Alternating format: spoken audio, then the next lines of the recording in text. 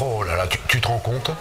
Une information judiciaire a été ouverte pour enquêter sur les accusations de financement de la campagne présidentielle de 2007 de Nicolas Sarkozy.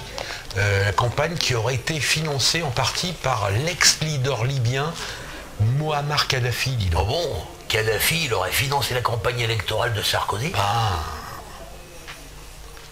Ah Bah dis donc, il aurait une drôle de façon de rembourser ouais, Sarkozy. quand même. Tiens, ça me fait penser que je te dois une note. Faudrait que je pense à te rembourser.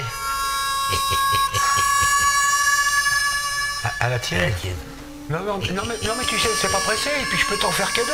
hein. Ça passera dans les pertes et profits. Oh, mais t'embêtes pas pour ça.